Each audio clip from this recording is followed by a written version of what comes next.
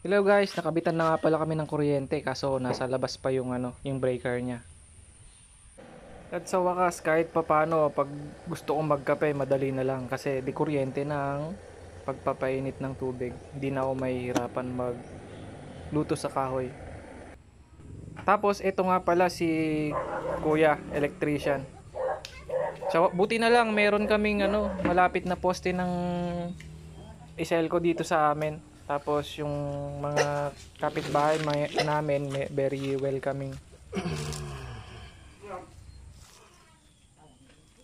Tapos ang sinuggest nga pala ng electrician dito is gumamit kami ng size 8 na service drop na wire na may 100 ampere capacity. So good na daw yon kasi pang home use lang naman daw. Nung sinukat namin to ni Inson Roger, yung span ng wire na kailangan sana namin around 60 to 70. Pero ang binili ko ay 90 meters. So mas maigi na yung may sobra kaysa kulang. Siya nga pala guys, ang presyo niyan per meter is 30 pesos per meter. So ayan na, ay ikakabit na namin yung service drop wire. Actually, ah, service drop wire ang ginamit namin from electric meter to breaker. So, sabi naman kasi okay lang daw. Tsaka mas maganda daw yon mas matibay.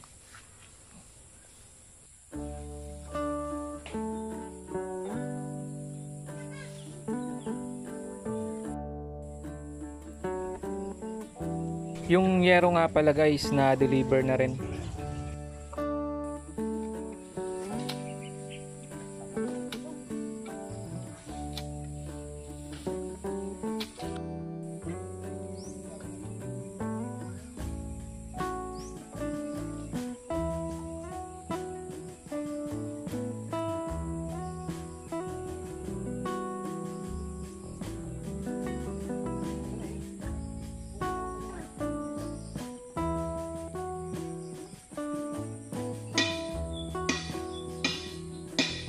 Dito nga pala namin ilalagay yung breaker habang ginagawa pa lang yung kubo.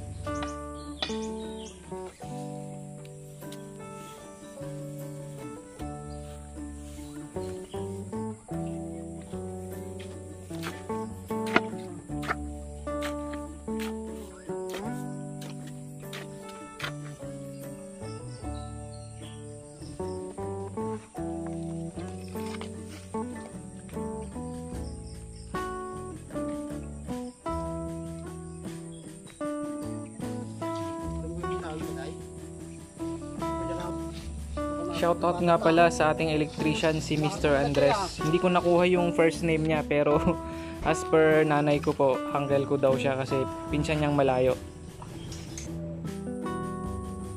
Tsaka recommended ko po siya sa mga kabaranggayan ko kasi hindi siya mahal maningil. Tamang tama lang.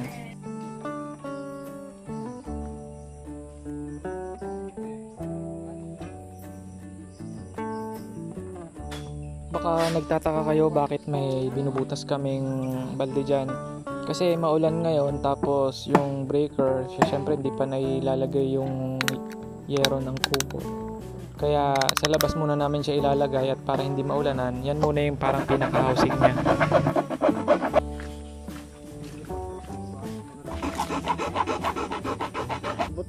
Ano talaga? Butaga. Ribot Kung tayo. naibahas.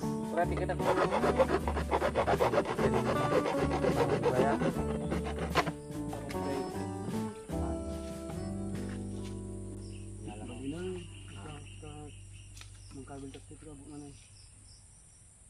Pag nanagin ni kaka.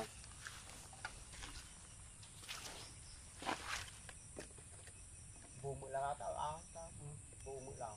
Mabutang. Wag yung tentod mo lang. Hindi ang kung kakatan. Oo.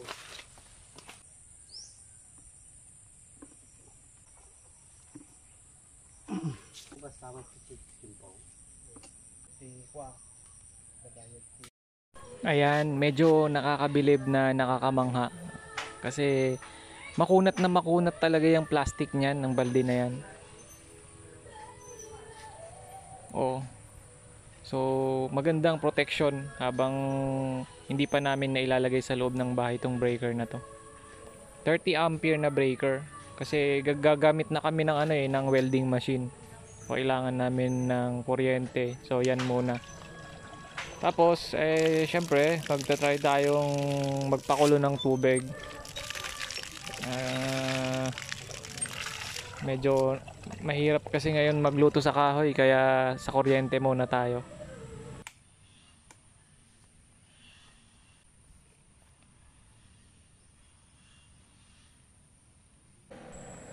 Kaya nakakatuwa naman.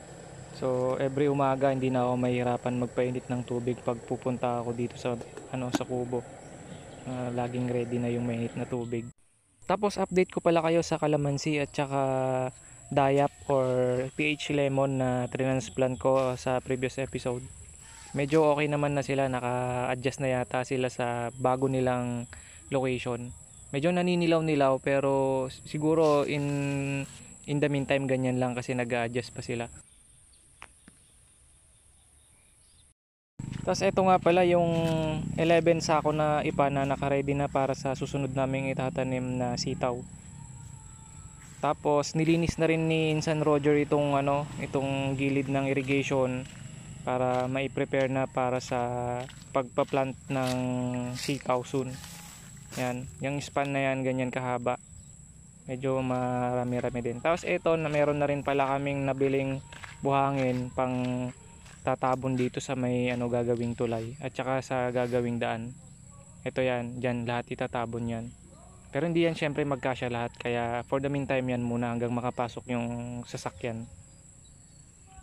As ito nga pala yung ano namin, yung palayan namin, medyo madamo pero ah, pina-sprayhan ko na rin yan ng ano, pina-sprayhan ko na rin ng pangdamo. Sana maging okay siya soon. Tapos shout out nga pala sa NIA National Irrigation Association. Tingnan nyo naman yung ano, project nyo. Ah, naintindihan naman namin na syempre ah, baka palusot lang na budget itong nangyari dito kaya tinitipid pero sana po next time eh, mas maganda yung contractor para naman po hindi na po mahirapan yung mga ano yung mga magsasaka sa pag pag-aayos ng ano ng daanan ng tubig nila. Kasi yan pagka may butas na po yan eh, alam niyo yung kiwit.